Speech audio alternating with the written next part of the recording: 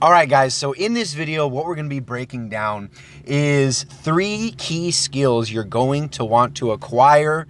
And I guarantee you, after watching this video, if you apply the three main things we're gonna be talking about in this video, I guarantee you, you will be walking away a better PUBG Mobile player. Uh, as of right now, in Season 5, I've actually been playing this game since Season 1. Uh, but season five is by far the best season that I've had. And it's because of these three things, uh, these three skills that we're going to walk away from this video. So without further ado, let's get right into it. All right, so we have a ton of gameplay um, that we have outlined for you guys, and I'll be kind of highlighting each of these skills as we go through. A lot of these come hand in hand with each other where you can't do one without the other. So the first one is reaction time. Improving your reaction time is going to make the biggest difference in your gameplay. Look at how quick that was with the AKM and the red dot. We'll even slow it down, and it's still, it's so fast, and it's so crucial um, reaction time. Uh, like I said, it's going to go hand in hand with a couple of these other uh, tips and tricks or skills that you're going to want to that you're going to want to acquire. And the second one, which is absolutely crucial, is positioning.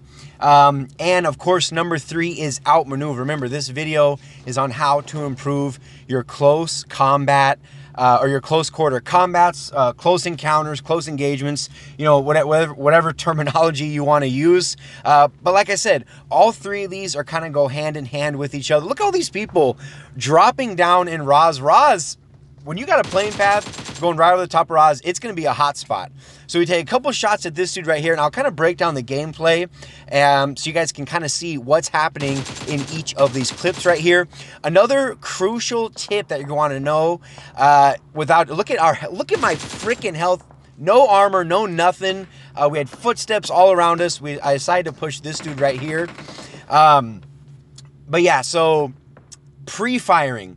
Um, it's not gonna. I mean, it's not part of the three, but it's absolutely paramount. It is so freaking crucial, and it, I guess it kind of goes with reaction time as well. But you, you guys are going to see quite a few clips in this video of me pre-firing corners and how how important it is, uh, and it can make the make or break. Uh, it'll make the difference whether you're going to be going to the lobby or if you're going to be uh, continuing this game right here. Get this guy going down the mountain right there.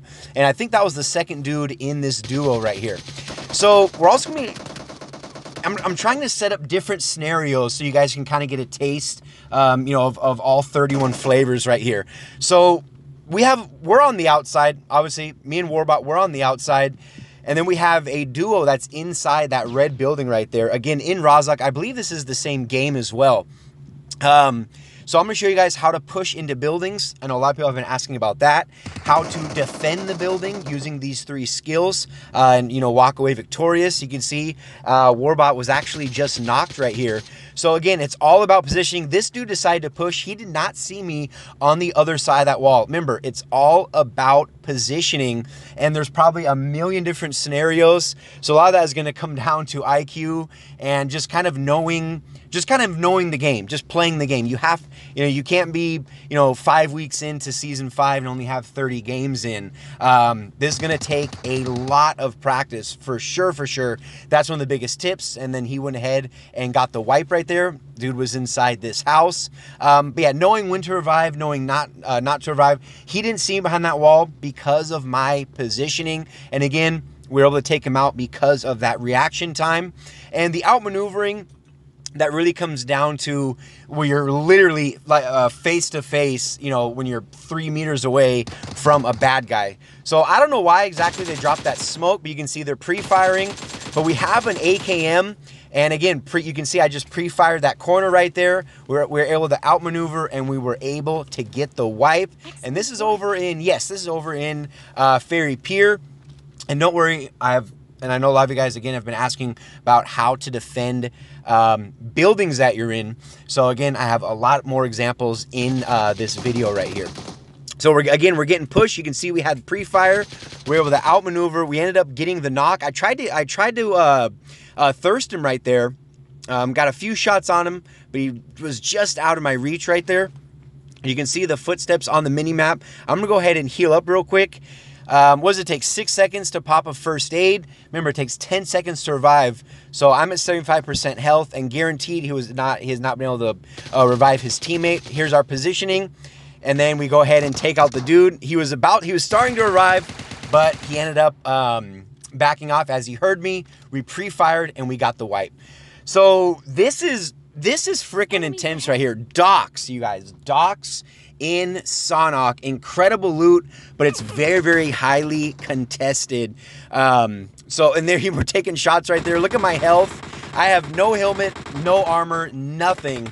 I think we had, I want to say maybe three, if not four different duos land here. Um, I believe, yes, we're playing with Buck in this game. So look at first aid, you can see I already repositioned. So that was number one. So now what we're trying to do is, look, as you guys see, their shots every single direction. Sometimes it's hard to actually pinpoint where, especially when you're first landing, you know, where you're going to be aiming. You can see right here, uh, we go ahead, again, that reaction time. We're able to take out this dude. Notice I'm not thirsting him. I can hear, you can hear those footsteps inside the warehouse. It's not worth it. We'll go ahead and leave him up. Maybe I can make a separate video on when, when to and when not to thirst and they end up thirsting Buck, and we're gonna go ahead and take out this dude, who was the partner of that other guy uh, that we knocked right there, and we still have a couple duos. I have to loot. Um, unfortunately, I was not able to save Buck. He thirsted his teammate. Um, maybe I shouldn't have given that guy, uh, you know, the, the courtesy, the dude that was out back. So here we go. Again, we, we just pre-fired around that corner. We end up getting one knock. We go behind the wall. We're going to reload. And now we're going to reposition. As we know, he's me going for the revive. We're going to pop this drink right here. And notice, again, pre-firing the corner. We end up taking out this dude. And you can see we end up getting the wipe. We're all alone now, unfortunately. But uh, we're able to stay alive and continue this game. And again, guys, it's not always, I'm gonna show you guys a couple examples. Uh, you can see we pre-fired right there as we're approaching this house. We're almost at the end game. We do get a knock. Um, but yeah, you're not going to win every single close combat engagement, but that is where you're able to learn from your mistakes. My mistake there, I'd say I was aiming too far down. I think I was shooting at the dude's kneecaps. Um, probably should have aimed up a little bit higher, and we end up getting taken out right there. So we're getting pushed from these dudes. Okay, get a couple shots on him. And this was probably one of the first times this has ever happened to me. So I end up getting the knock um, on this dude right here. And if you guys look, I have zero ammo. I have no ammo for my scar. So I'm going to try to go around the steps. And we try to get him with the M24, and unfortunately, it did not work out. Uh, but like I said, you're not going to win every single close combat engagement. Um, but again, it's always it's all about learning from your mistakes and getting better. So we got a dude right here uh, with a Kar 98. Look at this dude. He had no idea, no idea where we were. I'm gonna go ahead and get the thirst because I don't know exactly where his partner is and I have zero health. So we're gonna go back upstairs right here and I'm gonna go ahead and heal up. We'll just go ahead and uh, we'll go ahead and uh, fast forward through this. We're gonna see if we can reposition and if we can outmaneuver uh, this last guy. So we're just trying to locate exactly where he is. It sounds like he's kind of going from outside back to inside, as you can hear the difference in his footsteps. We're just trying to locate him, and you see the zone is right on our asses right now. And I'm trying to see, I, I was I was assuming he was me coming up the stairs, but now it sounds like he's back outside again.